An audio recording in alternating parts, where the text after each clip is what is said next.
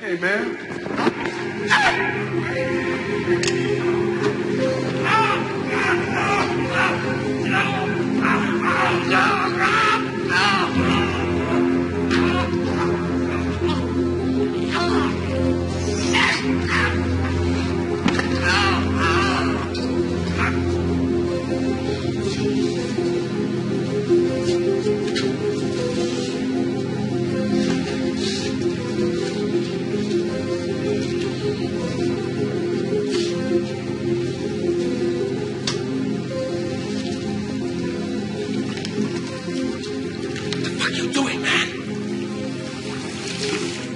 Hands, man. What?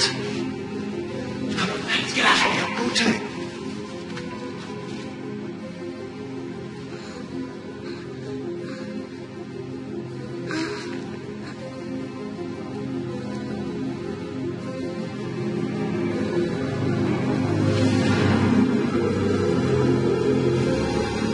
Man, I already did that. Let's check it again.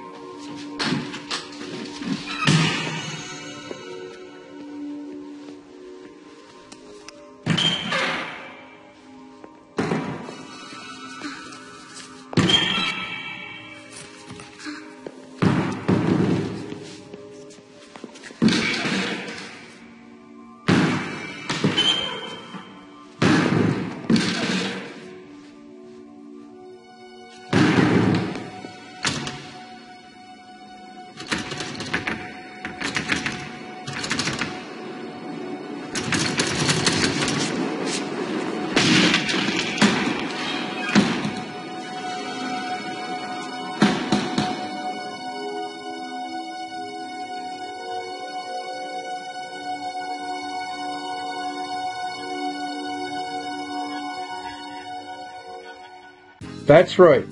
That little Amish kid just witnessed a murder. He's played by Lukas Haas, nine years old at the time, in his 40s these days, with 97 acting credits, although I don't remember seeing him in anything else. However, I see he's in 2021's Midnight in the Switchgrass with Bruce Willis and Megan Fox. Here he is at the bar with Megan Fox. He's way down the list of credits for 2022's Babylon with Brad Pitt and Margot Robbie. You should remember her, the Dirty Foot Sharon Tate in Tarantino's Once Upon a Time in Hollywood, and Diego Calva. And here he is with Diego. Haven't seen either movie thus far, and probably won't. But you never know. And by the way, that's the first time I ever saw Danny Glover in a movie. This movie came out in 1985, two years ahead of Lethal Weapon, Here's Danny in the classic uh, bathtub scene.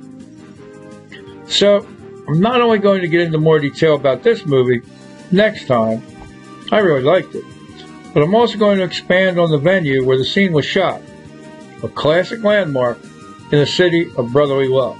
Now, based on the trailer you just saw, what do you think would be a fitting title for this movie? While you give that a thought, a quick plug for Cleopatra Murdered, first episode of my new Lou Kaminsky crime series. Inspired by my first book, the classic outlaw biker saga Born to be Wild. But in this series, I allow my creative genius to dictate where the story goes, from the opening murder scene all the way to the end. Get your copy while the supply lasts. Thanks for stopping in today. Until next time, see you. And that's a wrap.